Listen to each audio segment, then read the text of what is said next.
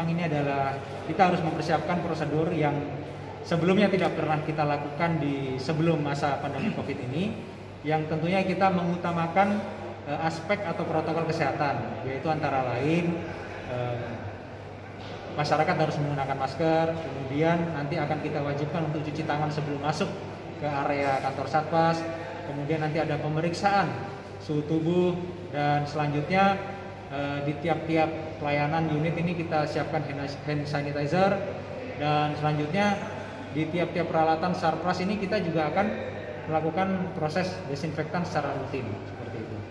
Untuk operasional ini kita batasi ya eh, pembatasan pelayanan maupun jam operasional kita batasi. Senin sampai Jumat jam 8 pagi sampai jam dengan jam 13 siang dan untuk hari Sabtu jam 8 pagi sampai dengan jam 12 siang.